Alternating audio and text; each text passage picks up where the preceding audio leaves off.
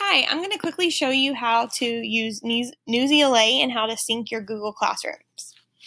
All right, so you go to newsela.com. It's also in the portal, portal as well, right here, Newsela. And you will sign in, and you'll sign in with your Google account, and then it will link and it will uh, to your Google account. And then this is the home page. You will then go to your name and classes. And from there, then it will say sync with Google. I have one class already synced, um, synced, and so you will yours will say sync with Google. So I'm going to click sync now, and then all my Google classrooms will appear. It might take a while if you have a, a lot. I have I have I have many.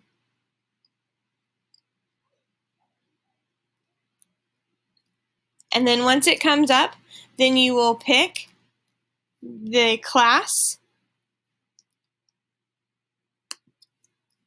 and you'll tell it the subject and the class and then you will say sync with selected classes. Okay, it's going to sync. After it syncs, then it's going to come up here and it's going to have your synced classes. What this is going to do is when the students go to newsela.com, once they do, they go there, then they will see in their binder, they will see their assignment. Okay. So they will see assignments that you that you add. Okay, so I've added this one today. So I'm going to show you how to add an assignment now. I'm going to go to search I'm going to go to St. Patrick's Day, we just had that.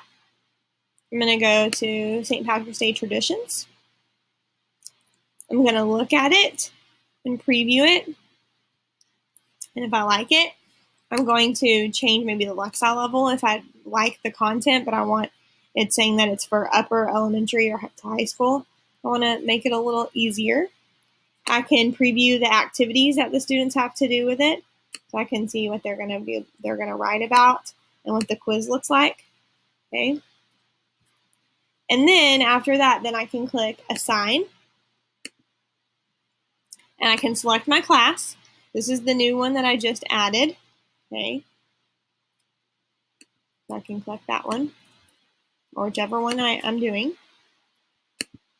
And then I can write my instructions to read and answer the questions or whatever I want or highlight the words you don't understand. Um, you can anything that anything that the students do in this article, you will have access to see what it is.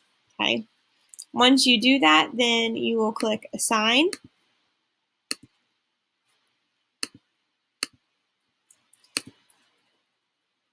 And then it will assign.